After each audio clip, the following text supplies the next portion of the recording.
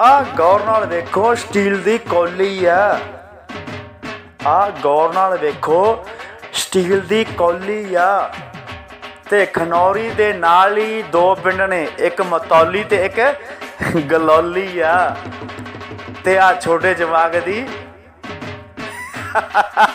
ਗੁੱਸਾ ਨਾ ਮਨਾਇਓ ਵੀਰੋ, ਕਿਉਂਕਿ ਅੱਜ ਹੋਲੀ ਆ। ਅੱਜ ਹੋਲੀ ਆ।